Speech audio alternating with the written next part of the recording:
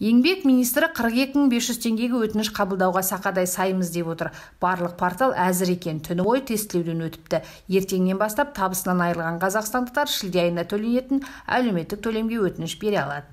Бүгін біз бүкіл порталдарды дайындадық. Түні бойы оны тестілеп өткіземіз. Ертеңнен бастап қырық екі мың бес жүз еңбек kz жұмыс істейді электрондық үкімет порталы жұмыс істейді және өз бетінше жұмыспен қамтылған және жеке тұлғалар үшін телеграм боттар ашылып жұмыс істейтін болады. қырық екі мың бес жүз теңгеге шілде айында табысынан айырылған кәсіпкерлер ақысыз еңбек демалысына шыққандар жұмыссыз қалғандар өтініш береді. Егер осы өтемақыға жалған ақпаратпен өтініш беріп алып алса мемлекеттік әлеуметтік сақтандыру қоры жәрдемақыны заңсыз алғандардан ақшаны қайтаруды талап етеді. Егер ол орындалмаса сотқа жүгінеді.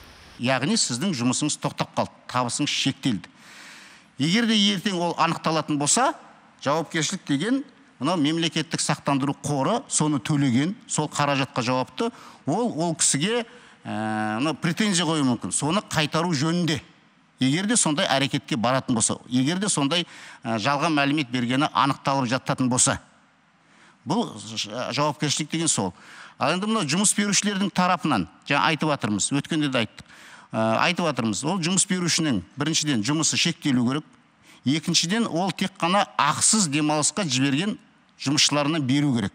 Егер де ертеңгі күні анықталып жатса жұмыс беруші жалақысын алып жүрген тұрақты жұмыс істеп жүргендер азаматтардың үшін берген болса жұмысшыларын әрине ол заң бұзушылық.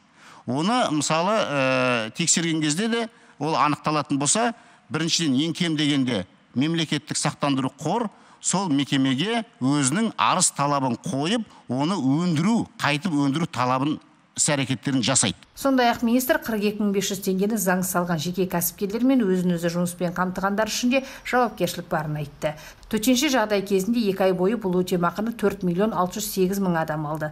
Бұған қордан үш жүз жиырма екі миллиард теңге жұмсалды. Әселім қалкен ахмедияр ильясов тдк қырық екі телеарнасы елордадан